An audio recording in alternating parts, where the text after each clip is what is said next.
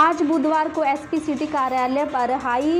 Education ठगों द्वारा लोगों को ठगने वाले शातिर गिरोह का खुलासा किया गया। थाना ब्रह्मपुरी पुलिस व साइबर सेल ने लोगों के क्रेडिट कार्ड बनाकर ठगने वाले अंतर्राज्य गिरोह का पर्दाफाश करते हुए दो शातिर अपराधों को गिरफ़्तार किया। थाना ब्रह्मपुरी पर ठगी के शिकार पीड़ित की शिकायत पर पुलिस ने मुकदमा दर्ज किया है, जिस पर थाना पुलिस व साइबर सेल की एक टीम का गठन किया गया। मामले में कार्रवाई करते हुए लोगों के फर्जी तरीके से क्रेडिट कार्ड बनाकर रुपए ठगने वाले अंतर्राष्ट्रीय गिरोह का पर्दाफाश किया गया, जिसमें दो शातिर आरोपियों को गिरफ़्तार किया गया। कार्ड से इन्होंने पैसे निकाले हैं, उसको इस्तेमाल किया, यूज़ किया है, उसको तब पता चलता था जब उसके पास स्टेटमेंट आता था अगले महीने का, क्योंकि क्रेडिट कार्ड का स्टेटमेंट कुछ समय बाद।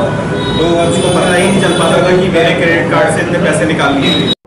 लेटेस्ट न्यूज़ देखने के लिए प्राइम ब्रेकिंग न्यूज़ चैनल को सब्सक्राइब करना ना भूलें और साथ ही डेली अपडेट्स पाने के लिए बेल आइकन को